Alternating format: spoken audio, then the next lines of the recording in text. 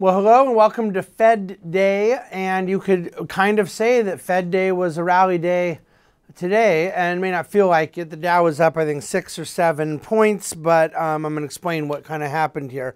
So I, I don't uh, need to look at the data right now. I'm just going to walk you through qualitatively what happened. Um, as I mentioned yesterday, there's always a lot of positioning and short-term algos and things going into the Fed announcement. That can be long, it can be short, it can be hedged, it can be unhedged, it can be both. And then you have unwinding or rewinding and all these things afterwards. So let's take out that noise. We are really working on a lot of Fed meetings in a row now where the immediate aftermath is worthless. So today, and you'll see the chart in the dctoday.com, but the Dow had been down pretty good. Uh, let's call it 250, 300 throughout the day, and then it dropped another couple hundred.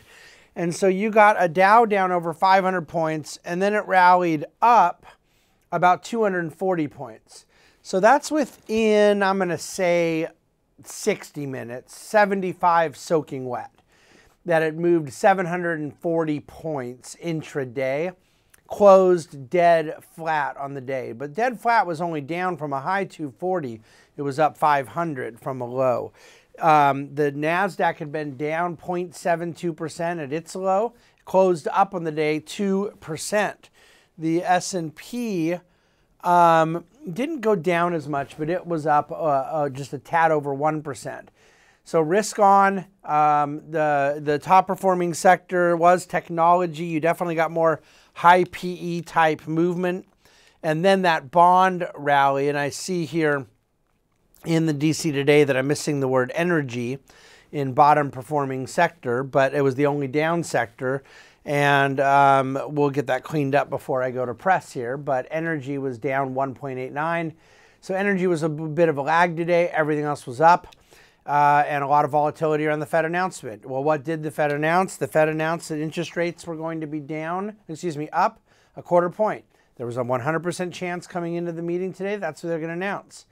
And more or less qualitatively, Powell definitely reasserted exactly what I'd said, what I said he would say, that no, the risk is greater to the, the risk of, of letting inflation reaccelerate. They want to be careful there. But yes, they'll stay higher unless they change their mind. And it was really not um, as hawkish as I thought it would be. I would not say it was dovish, but I think it was very clear that they were unwilling to let uh, to contradict the market, and by market I mean financial markets, stocks and bonds. The 10-year um, collapsed. The yield, the bond rallied huge. The 10-year was down 11 basis points. You now have a 10-year Treasury at 3.4%. So if one believes that we have 7 or 8% inflation or 7 or 8% inflation coming back and you got a 3.4% yield on the 10 year, I don't know what to tell you. Um, the yields in all aspects of the term structure of the bond market have moved down all year. Um, the weakness in the economy is not going away. ISM manufacturing was down for the third month in a row. 16 out of 18 sectors showed contraction. Uh, it was at 47.4. Remember, anything under 50 is contraction, anything over 50 is expansion. And you had new orders that were down, you had production down, you had supplier deliveries up, but nevertheless, it was down to the lowest level it's been since 2009, unless you are counting the COVID months, which, which I'm taking out. Um, the ADP private sector jobs were up 108,000. It was expected to be up 180,000. So we'll see if that's a precursor to a disappointing jobs number on Friday as well. When I say disappointing, it's because I want people to have jobs.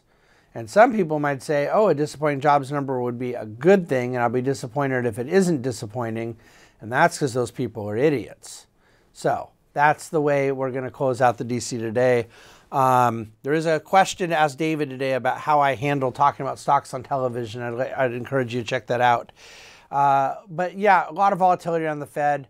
Um, I'm very glad we didn't try to rebalance in the midst of a Fed day, and uh, we are looking at doing some more portfolio rebalancing next week instead to get out of that, um, you know, immediate aftermath situation. So the markets do have a precedent of not cooperating the next day. There's more time to kind of settle here. We'll see what happens with certain earnings, but right now risk appears to be on until it isn't. And in the meantime, I'm, I'm, the bond market is certainly loving what's happening. Uh, disinflation, decelerating growth, and uh, no one really believing that the Fed is going to um, not have to do something there. And that's uh, the nature of the beast. It's been the nature of most of my adult life managing money. Um, and I can expand on that another time. Thanks for listening to, watching, and reading the DC Today.